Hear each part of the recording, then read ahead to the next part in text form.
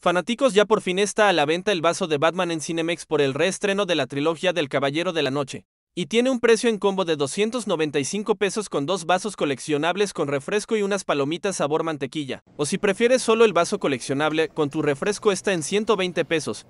El vaso tiene muy bonito diseño, pues vemos el logo de Batman en la parte de enfrente y abajo está el nombre de la película.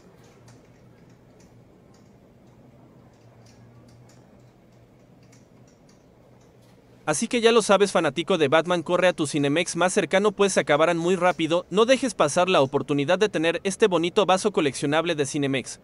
Comenta y dinos qué te pareció este increíble vaso coleccionable.